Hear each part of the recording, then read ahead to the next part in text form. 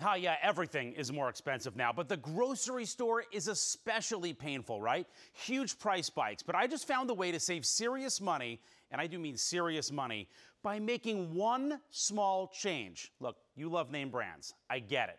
But if you buy the store brand, and I know you never want to buy the store brand, we wanted to see just how much you save. That one little change. Before you go shopping, you got to see this.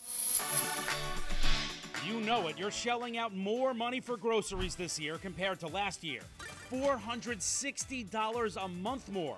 Now, chains like Walmart and Kroger say we're turning to the generic store brands to save money. The question is how much money can you actually save by buying the store brand, by buying generic? Is it really worth it?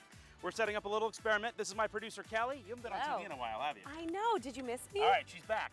We both have a shopping list. It's the same exact shopping list. And what are you going to be buying? I'm going to be buying the name brand stuff, the stuff that you know and love. All the brands that you know. Okay, got it. I'm going to buy the same stuff, but I'm going to be buying the Walmart generic brand, the Walmart store brand, to see how much I save. Ready to go shopping? Let's go. Let's do it. All right, store brand white bread in the cart. We've got our Wonder Bread done. Generic ketchup, 32 ounces, in the cart. Heinz ketchup. Store brand granulated sugar, check. Got the sugar. You won't believe the difference in prices I'm already seeing. Canola oil spray. This, look at this, the generic, two bucks. The Pam, 464, more than double the price. Generic. But the price gaps get even bigger in the coffee aisle. Look at the coffee, French vanilla. This is the Walmart store brand, and this is $4.24. Come on over here.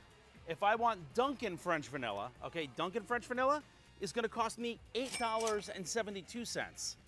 I mean, they're both French vanilla. Generic. I'm choosing the Dunkin'. Okay, back to our list. A gallon of vegetable oil. Yeah, I like cooking. Here you go.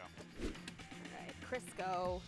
But the biggest price difference by far freezer bags. A $6 difference. Look at that. Now for the results. Okay, we just got out. We just did our shopping. Yeah. This is pretty crazy. What is your total? All right, for name brands, my total on my receipt is $135.91.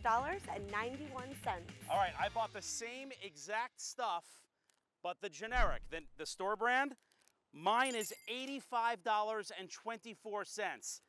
That is a whopping $50.67 in savings just by buying generic. That is incredible. You beat me. It's a lot of money, by a lot.